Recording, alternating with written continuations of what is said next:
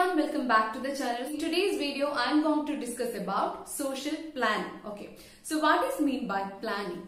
So planning is considered as a process of preparing blueprint of action to attain certain objective within a time frame. Okay, so that is considered as planning. But I think we should know about planning from the viewpoint of Jawaharlal Nehru. He actually set up National Planning Committee towards the end of 1930s. So he viewed planning as a way of developing our country. Okay, or in other sense, moreover, we can say that consider planning as a positive instrument for resolving imbalance and uh, the contradiction like a country like india heterogeneous uh, country like india needs certain planning for the uh, for resolving these kinds of imbalance and contradiction okay so moving on to the objectives of planning. Okay. So as we all know that the directive principle of our uh, constitution visualize economic and social order based on equality of opportunities, social justice and right to work. So these directive principles give a guideline for our state policy. Okay. So the planning in India should follow this guideline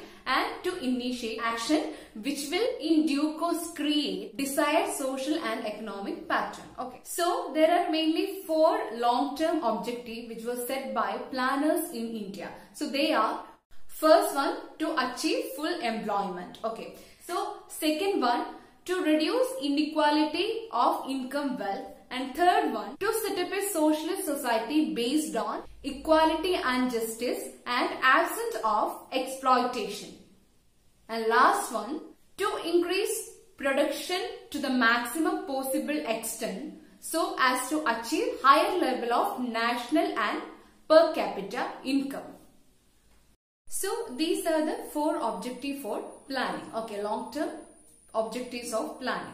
So next we need to discuss about uh, five year plan because five year plan was considered as a vehicle of planning. Okay. So the first five year plan was from 1951 to 56. So it provided uh, the first milestone of rural development through community development programs. Okay. Second five year plan was from 1956 to 1961 and its main focus was on to the industry development of our country. Okay, this plan was successful and they achieved growth rate of 4.1 percentage. So moving on to the third five-year plan.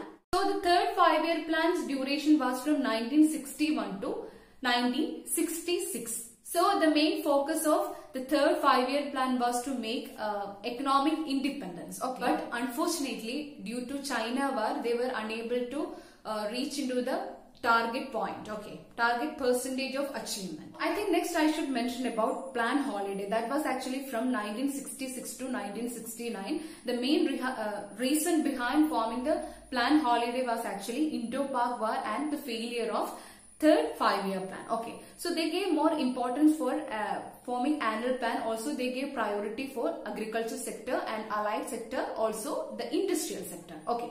So moving on to the fourth five year plan. There were mainly two objectives for forming the fourth five year plan. First one growth with stability and progressive achievement through self reliance during this time the slogan garibi hatao is given by indira gandhi. Okay but uh, unfortunately, this tar uh, plan actually failed. They only attained 3.36 percentage instead of 5.7 percentage. So moving on to fifth five-year plan, the duration was from 1974 to 1979. Okay. So in this plan, they gave priority to agriculture, then to industry and to mines. Okay. So overall, this plan was actually successful. They actually reached into 4.8 percentage instead of 4.4 percentage. And important things, as I mentioned before, the duration was actually from 1974 to 1979. Since they achieved it, they actually terminated the plan from 1978. Later, they made another annual plan called rolling plan. Okay. So, this plan is actually from 1978 to 79. So, as I mentioned before, the duration was from 1974 to 1978. Since they terminated in 1978, they made another plan called rolling plan from 1978 to 79. Okay. So moving on to sixth five-year plan that was actually from 1980 to 1985. So the basic objective of uh, sixth five-year plan was poverty eradication and technological self-reliance. And its growth target was 5.2 percentage, but they achieved 5.7 percentage. Okay. So moving on to seventh five-year plan that was actually from 1985 to 1990s. Okay. So here they gave more priority or we can say that the objective of seventh five-year plan was actually self-sufficient economy and opportunities for productive employment. So it is actually the first time the private sector got priority over the public sector. Okay. But its growth rate was 5 percentage but they attained 6 percentage. Okay. So, but 8th five-year plan actually not made immediately. It was actually made from 1990 to two annual program from 1990 to 91 and 91 to 92. Later in 1992 they formed the 8th five-year plan.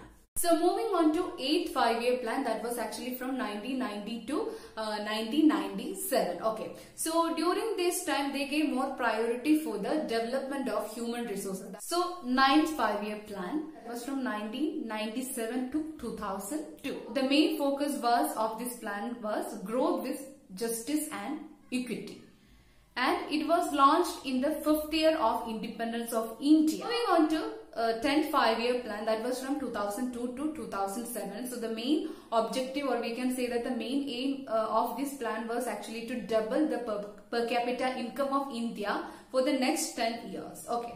Also another aim was actually uh, to reduce the poverty ratio of 15 percentage by 2012.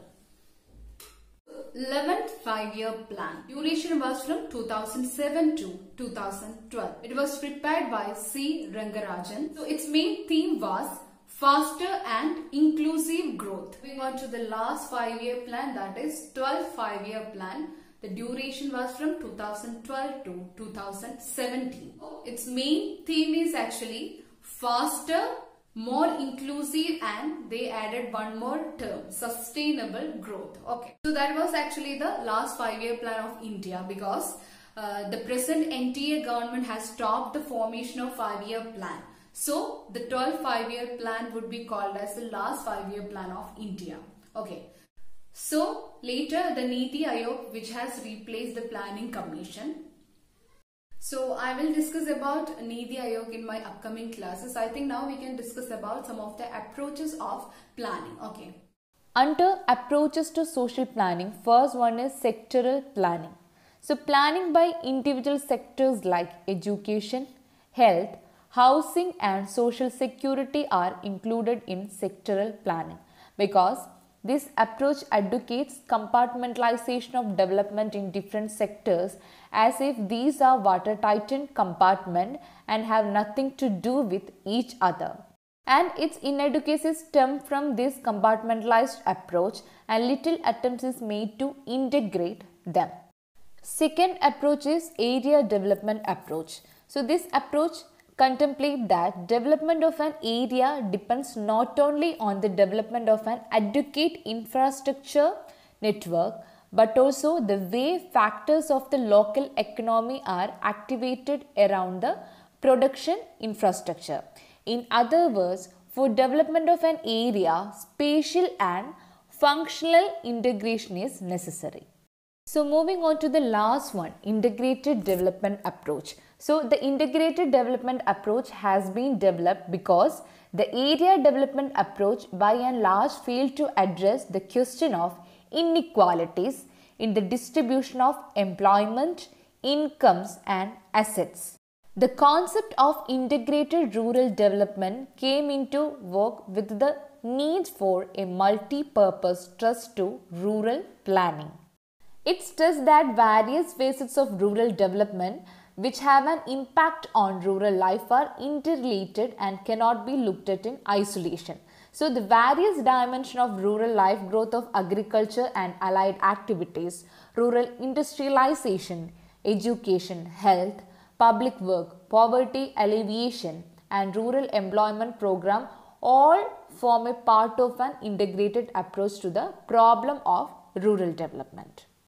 So these are the important point for today's video. So if you have any doubt, you can comment below this video or else you can mail me on my mail ID. So thank you so much for watching my video. So thank you. If you like the content, please subscribe, like and share with your friends. Thank you.